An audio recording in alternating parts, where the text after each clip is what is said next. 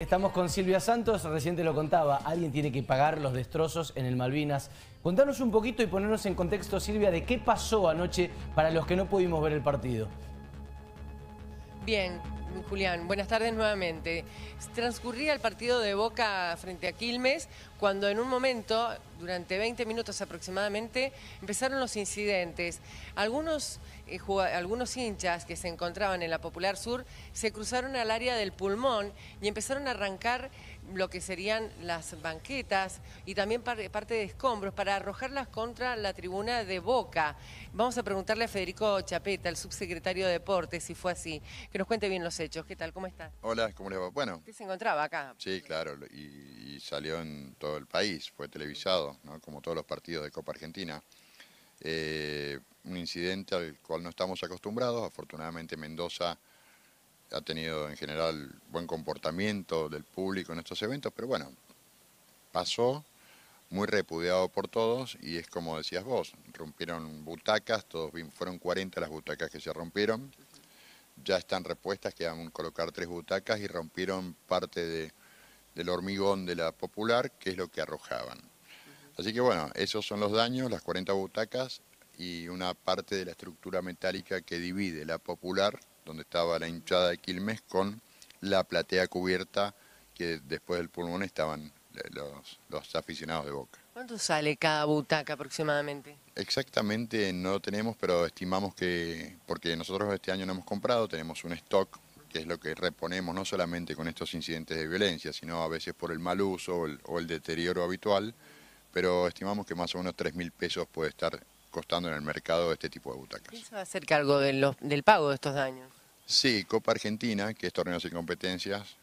Anoche lo, hablamos, por supuesto, habíamos tenido algunas experiencias también hace unos años y lo, hicieron como corresponde, por contrato, así que en ese sentido debemos estar tranquilos que ellos pagan esto y le reclamarán después al club, en este caso a Quilmes, una cuestión interna entre ellos, pero rápidamente lo pagan. Nosotros reponemos ahora, porque el sábado tenemos un partido acá, no podemos esperar que llegue el dinero, pero son ágiles y pronto llega la plata de torneos. Bien. Con respecto al hecho en sí, se habla de que eran pocos los hinchas que se cruzaron, no fueron demasiados, fue un grupo eh, reducido. Sí, sí, afortunadamente fueron pocos, que son pocos los violentos. La mayoría del público que estamos hartos de esto, la gente lo manifestaba, son aficionados normales, ¿no? Pero estos delincuentes, que son unos 15, 20 los que los que generaron el incidente, bueno, son los que hacen ruido. Fueron pocos, por supuesto. Eh, y a pesar de los 14, 15 minutos que paró el partido, bueno, se volvió a jugar, se controló con el operativo de seguridad rápidamente, o sea, tomaron una decisión que ellos seguramente explicarán, a mi entender, acertada para no generar más, más violencia y se pudo continuar con el espectáculo. Pero fue un pequeño número con respecto a tu pregunta, como siempre pasa con el fútbol. Se, esconden delincuentes en la multitud, pero siempre son pocos afortunadamente. Desde el Ministerio de Seguridad aseguran que estarían identificados con drones, con las cámaras de seguridad que tiene propias el Ministerio en el estadio. Claro, el Malvinas está provisto de cámaras de seguridad que ellos operan, así que bueno, ellos tendrán que hablar al respecto. Ah, funcionaban, deben haber sido detectados, pero eso lo tiene que informar. ¿Hubo detenidos?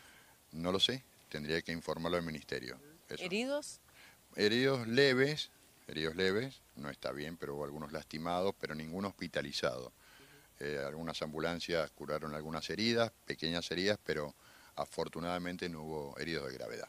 Para que entienda la gente, estaba la Popular Sur, toda la gente de Quilmes, un pulmón y luego la platea de Boca. Claro, así fue, la platea cubierta, que es la, que, la oeste, y la sur que ocupó la, un grupo de, de Quilmes y ahí fue el incidente entre esos dos, esas dos parcialidades. se cruzaron, digamos... Ellos rompieron esa separación de esa metálica que existe, estos delincuentes, y se pasaron, arrancaron butacas y arrojaron Silvia.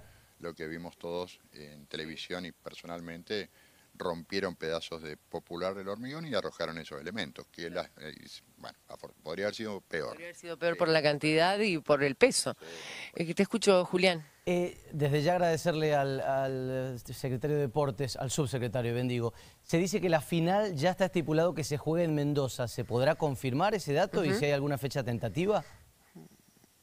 mm, si se jugará la final en Mendoza. Julián. Dice Julián Sí. Imacio, si hay alguna fecha tentativa, si se jugará la final en Mendoza. Es muy probable, la semana que viene lo definimos, estamos bien encaminados como otros años, esta sería la cuarta final, más otras instancias que hemos tenido de cuartos y, y semis, y en principio está programada para fines de octubre, pero no hay fecha cierta. La semana que viene lo que sí podemos confirmar es que vamos, estamos bien y seguramente la semana que viene se anunciará y creo yo que va a ser Mendoza, esperemos, pero vamos bastante bien.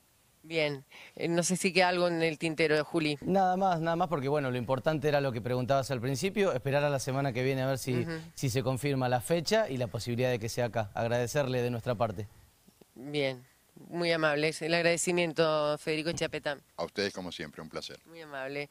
Hasta cualquier momento. Y Julián. Gracias Silvi, esperando entonces esto que ya está totalmente repuesto, queda solamente ver qué va a pasar con esas tres butacas que estaban entrando y el dato sobre el final que tenía que ver con que la final se va a jugar en nuestra provincia.